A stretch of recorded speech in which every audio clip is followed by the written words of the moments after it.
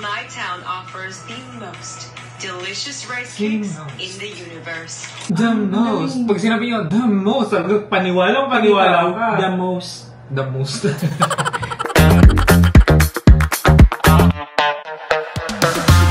Hi guys, and welcome back to our channel. My name is Janae. Junit. Janelle. I am Niley! For today's vlog ay magkakaroon ulit tayo ng reaction video para sa tourism video ng ating isa sa mga delegates ng ating mga delegates ng ating isa sa mga delegates ng Miss Universe Philippines 2024 this time is for Kainta and that is? Stacy Gabriel. Ah, si Stacy. Sorry. and without any further ado, Without any further that. let's jump into the video.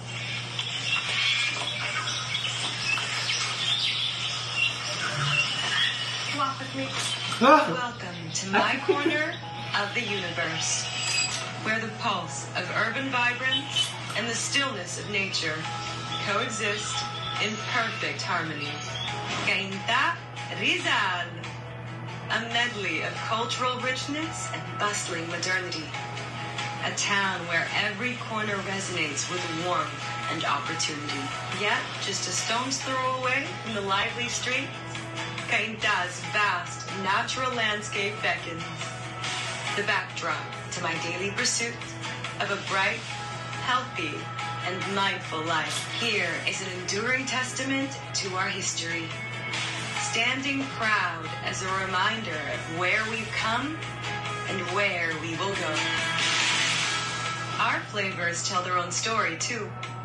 Known as the bibingka capital of the Philippines, my town offers the most delicious rice cakes in the universe, weaving generations together with their earthy sweetness and comforting embrace. Still, it all comes back to faith. It is our foundation, the bedrock of our Cainteño heart. Here, solace, solidarity, and the spirit of community are a way of life. My captivating painta, not just a dot on the map, but a tattoo on my soul. The land that fashioned my dreams, nurtured my spirit, and calls me its own. Come, walk its pathways and feel the unwavering love of a town that might just capture your heart. Like it forever holds mine. Yung boses niya talaga. Boses niya talaga ang Siya mismo dala. ang nagdadala. Yeah, promise. Ang ganda-ganda like, Kahit anong sabihin niya. Paging... ang sarap makinig. Para kung nag ASMR na, ang sarap. the most. Pag sinabi niyo, the most, paniwalang paniwala ka. The most. The most.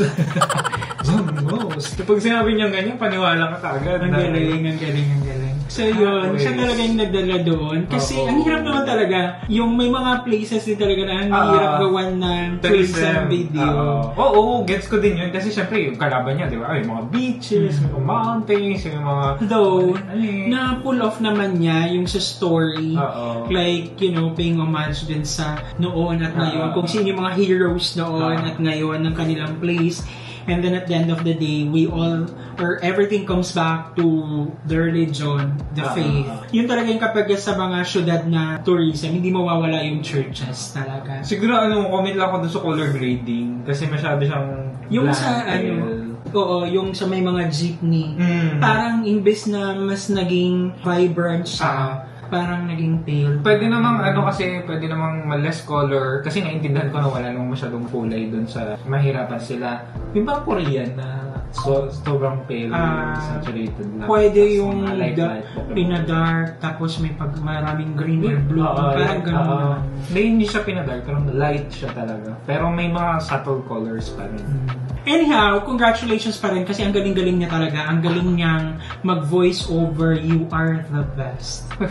ang, ang sarap niya talagang pakinggan. And, ayun guys, and thank you so much at sinamahan niyo na kami sa nagdaang reaction video. If you like this video, don't forget to give it a thumbs up. If bago pa yun sa ating channel, don't forget to subscribe. Hit that notification bell para updated kayo sa ating mga next uploads. And guys, thank you so much for watching our videos. We have a lot of videos done and we have a lot of videos coming. So keep watching us in the next video. Bye!